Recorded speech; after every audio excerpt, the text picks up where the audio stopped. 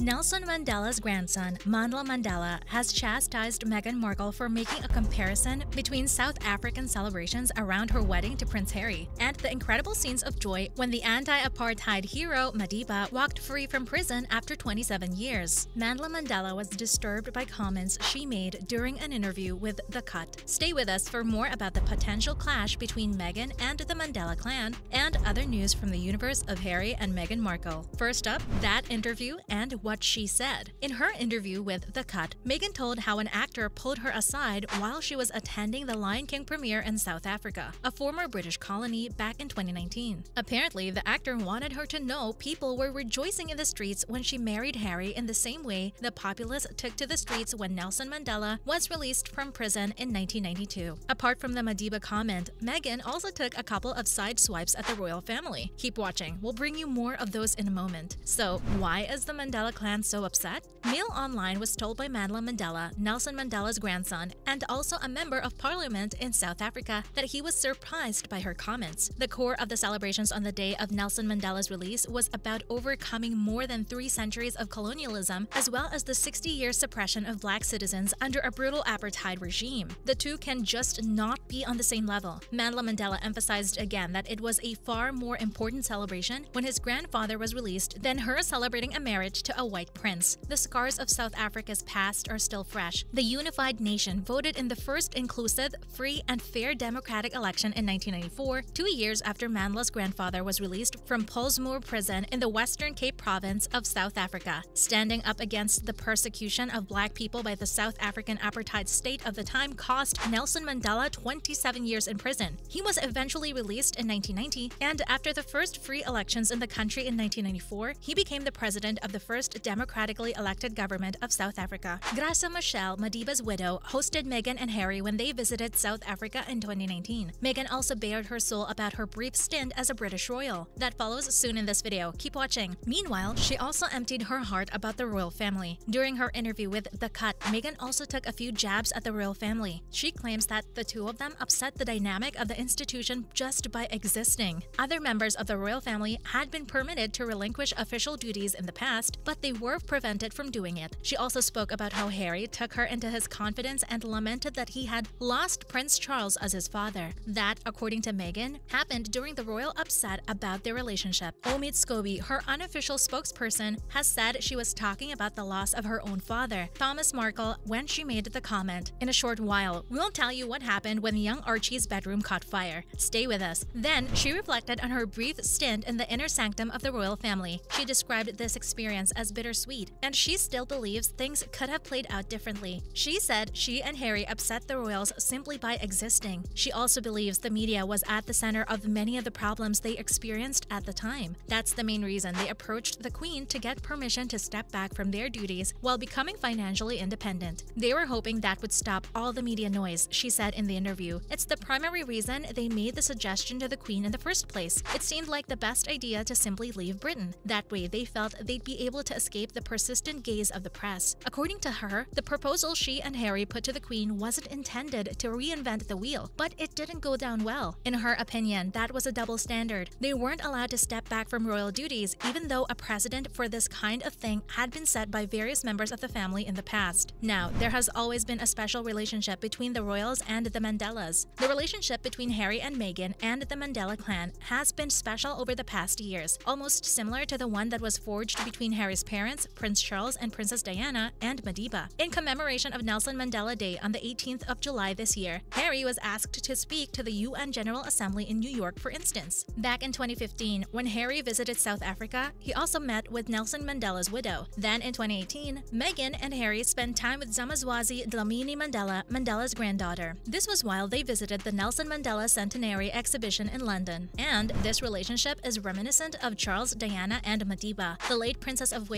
spent time with Madiba during a visit to her brother Earl Spencer in Cape Town. When Nelson Mandela visited Britain in July 1996, four years after his release from Pollsmoor prison, Prince Charles took him on a tour of Brixton in South London. Later, in 2002, Mandela made a detour at Althorp State in Northamptonshire to see where she was laid to rest. Meanwhile, Archie's bedroom caught fire in South Africa. A security source has confirmed Archie's nursery was the scene of an accidental fire during the family's South African visit. And the same source said said the British police were asked to keep this quiet. A message came through to Meghan while she was en route from an official engagement. Her vehicle immediately broke away from the convoy and sped back to the residence, which was provided to the couple by the British High Commission in South Africa. A source told of how the security plan changed on the fly when the convoy was on its way back from the engagement. He said he wasn't sure whether they were coming from Nyanga or Monwabisi, both are Western Cape townships. They were driving in a convoy when the cars assigned to Meghan suddenly broke away. The main convoy turned around to follow her. Harry wasn't with them. According to the source, he was busy with an engagement with the South African Navy. The source also said the fire was left unreported upon request, and that the British police told everybody with knowledge of the incident to keep quiet. The one thing the source was not prepared to comment on was whether Archie was downstairs as reported or in the room where the incident happened. This person, who is believed to be in the couple's inner circle, spoke of personally seeing a severely melted heater. Remember to stay with us to see how Harry speaks to the United Nations about American politics. That's coming up. And because of her Mandela comparison, South Africans don't show much empathy. At this point, Meghan had already offended South African sensibilities. The wounds caused by the apartheid years in the country run deep, and the freedom brought about by a statesman of the stature and caliber of Nelson Mandela is holy territory for all in the country. On Twitter, typical messages showed individuals had little empathy for the fire scare. It didn't help that Meghan had also in the meantime said in an interview that traveling to a country like South Africa was the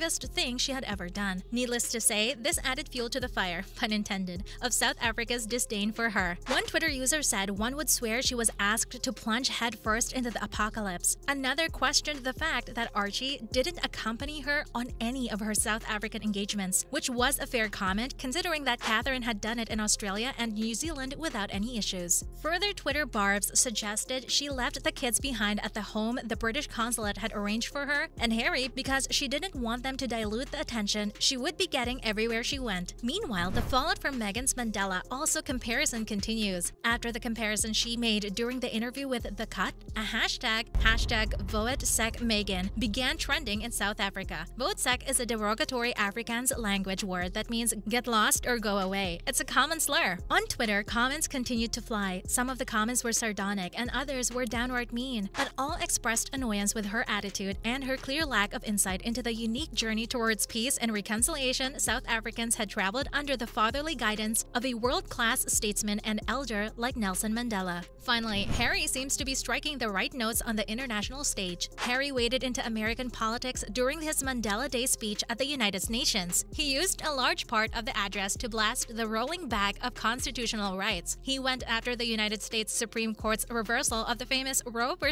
Wade decision and called it a global assault on democracy. He also had a lot to say about the brutal Russian invasion of Ukraine. To end this video, they may be out of the royal spotlight, but the lives of Harry and Meghan Markle are by no means void of controversy or excitement. It is easy to forget that royals are simply human. That's all for now, folks. Keep a lookout for our next upload.